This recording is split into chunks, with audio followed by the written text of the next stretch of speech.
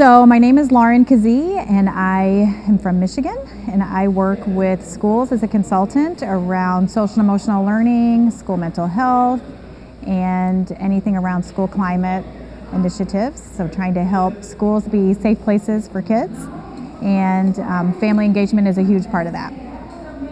I think family engagement is a crucial element of school success. I know from experience working with schools for almost two decades that if we want students to succeed in school, really being able to bridge the gap between family and community and schools is a great element to be able to help to support students academically and um, and I think it does make a big difference in school climate which we know also then helps students um, succeed in school. There are some elements that I think are crucial for family engagement. I think um, it's easy for schools to forget the family part because they're so busy and they have so many other demands on them.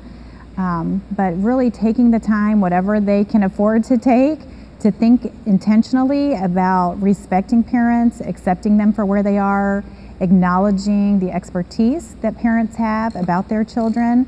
Um, you know, having worked in education, but also being a parent of a special needs child, I can see both sides. Because I know being in a school, things are very busy, a lot of demands.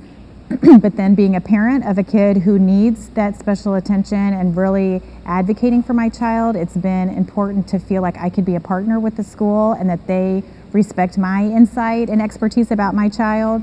But then I can also respect their expertise about education and we can work together as a partner.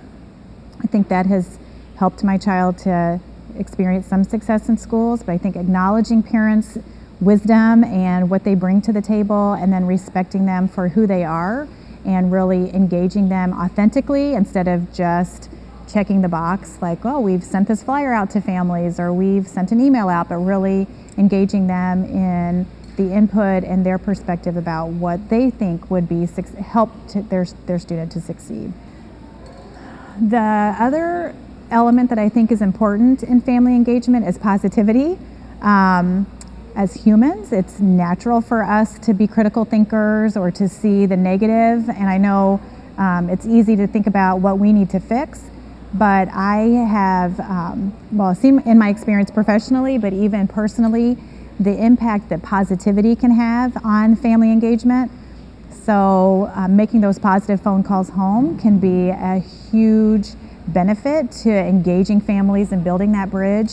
I um, have had been a recipient of a, po a, positive phone call home before, and it was an amazing day. I mean, I remember it now. My child was in third grade, and for the teacher to take the time out to call and say, "Hey, this is what went well today," as opposed to all the other negative calls that a parent can get, I think really did endear me to that teacher and to being invested into feeling like I was in the same village and working together to, for my child's success.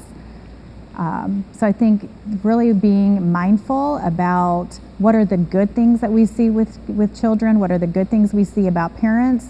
Sometimes it may be creative reframing to think about those things, but to acknowledge them and to verbalize them could also really help to engage parents in our um, efforts in school.